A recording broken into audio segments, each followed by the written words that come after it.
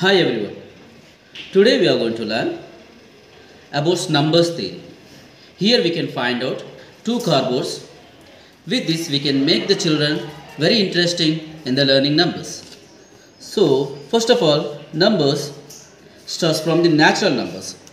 Natural numbers are such always starts from 1 which are denoted by n.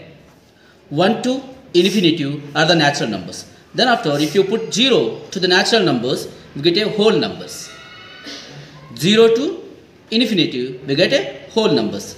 Next if you put a negative integers for the whole numbers we get a integer numbers.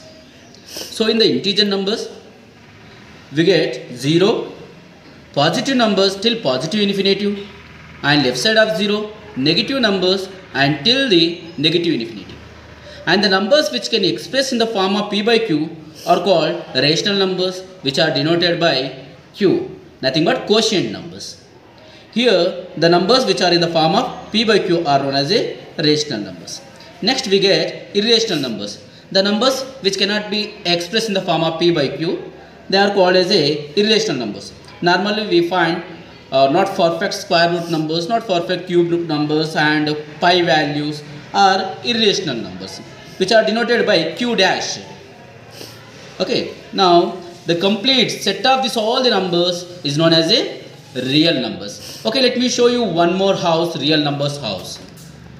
Now here we can see the house of real numbers. Let us see this side as we made this with our cardboards. Some solid figures here like cylinder and sphere cylinders and some cones which are solid figures are attached here make beautifully this. And when you take out this top of the house we can find out the types of numbers what I told you so far. Here in this we can find out the natural numbers. Only the number starts from 1 1 to infinity comes here.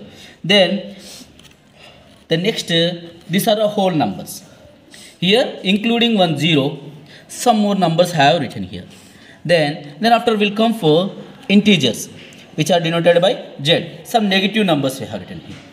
Next rational numbers which are denoted by q. The number see here every number in the form of p by q. So we can say one thing. Natural number whole numbers integers all these numbers we can consider as a rational numbers. And there are some special kind of numbers irrational numbers which are denoted by q dash. Here some non-perfect square root numbers you can find it here all. Root 23 and root 3 root, root 2 and pi value something. And set of this all the numbers set of this all numbers will be considered as a real numbers. That's why we call real numbers is a numbers theory. The numbers theory will be called as a, a real numbers. So this is a simple project. I hope you understood. Thank you